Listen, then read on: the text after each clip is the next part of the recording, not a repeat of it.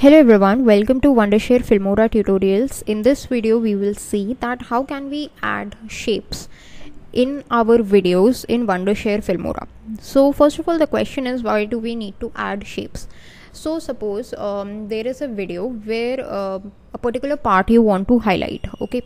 So you can highlight that using a rectangle or a circle or a square, something like this.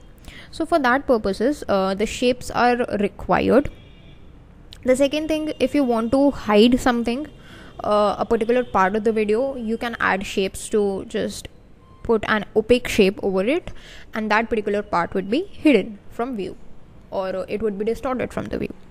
So for these purposes we can add particular shapes in our video clips in wondershare filmora. How do we do that? Let's just see the process.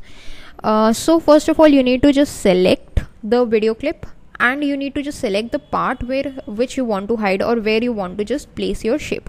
Not necessarily for hiding but suppose i just want to place a shape there okay? So how do we uh, select that? Okay so let me just play my video clip. Okay perfect.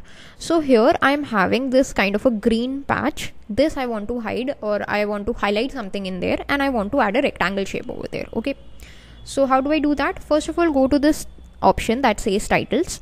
Select any title doesn't matter which any uh, title and just drag it on the screen.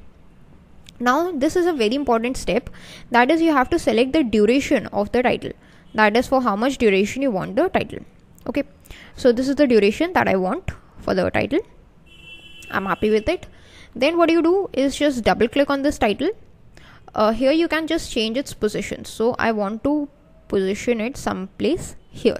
Okay then uh, go to this editing part and just keep the title as blank. Just remove any of the text that's written.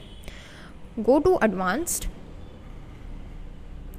Uh, let's wait for a few seconds till the dialog box opens up. Once the dialog box is there just go to the second option that says add shape and select the shape you want to add. I want to add a rectangle. So let's just select a rectangle.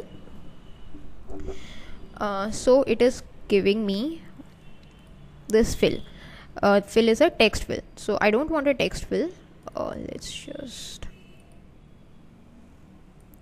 remove this text from here as well input text from here. Okay. Then uh, we don't want any fill so let's just unselect the fill. Just select the border. The border we want of red color. So let's just select a red color.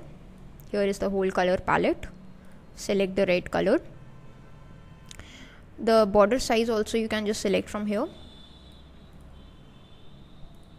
Which is a rounded rectangle. Okay. Um, so what we are going to do actually is just um, remove this text border option text shadow option and the shape fill option. We need to add a shape border not the text border we need to add the shape border so I want a red color for my shape border. Let's just select a red color. Click on OK.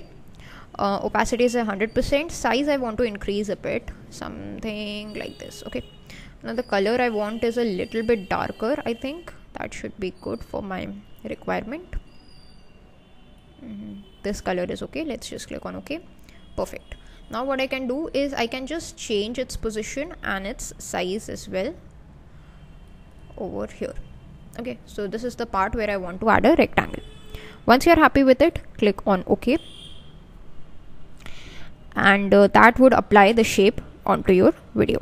So here also you click on OK. Now if you just play your video from the beginning or from any other frame here you can see for that particular part that shape is visible. That's it for this video. Thanks for watching